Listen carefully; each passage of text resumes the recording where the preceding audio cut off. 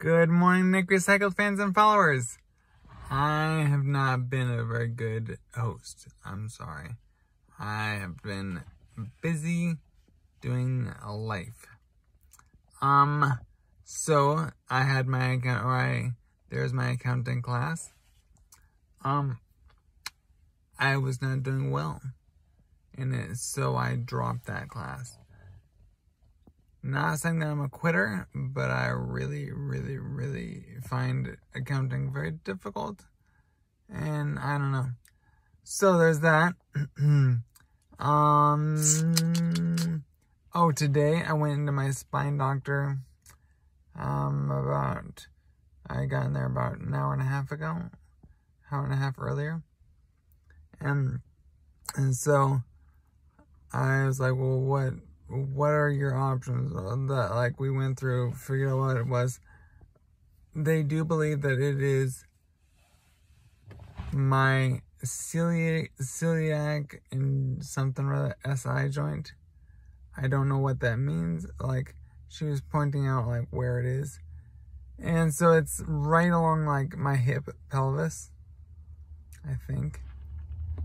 And it's like okay well.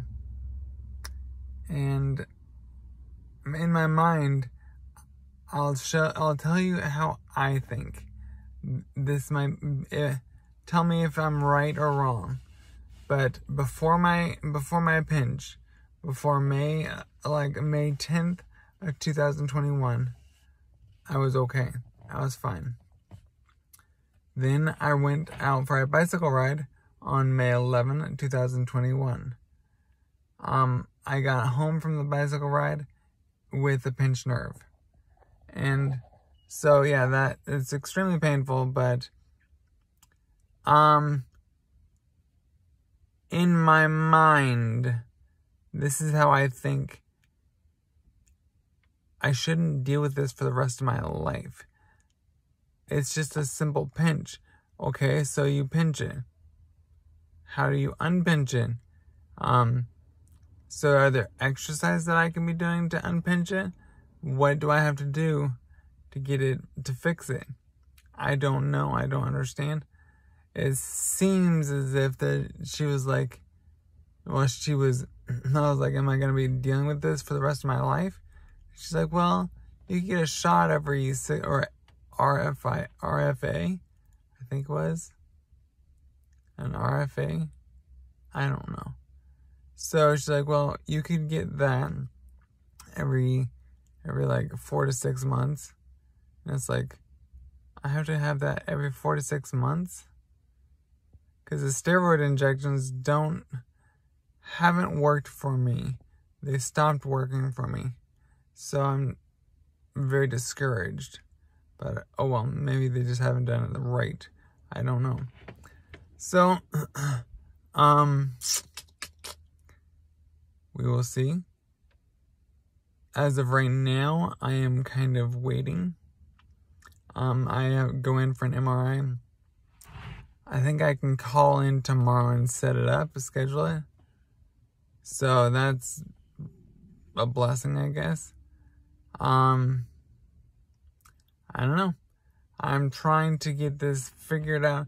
Eh, in my mind, you can fix it. It might take time, but you can fix it.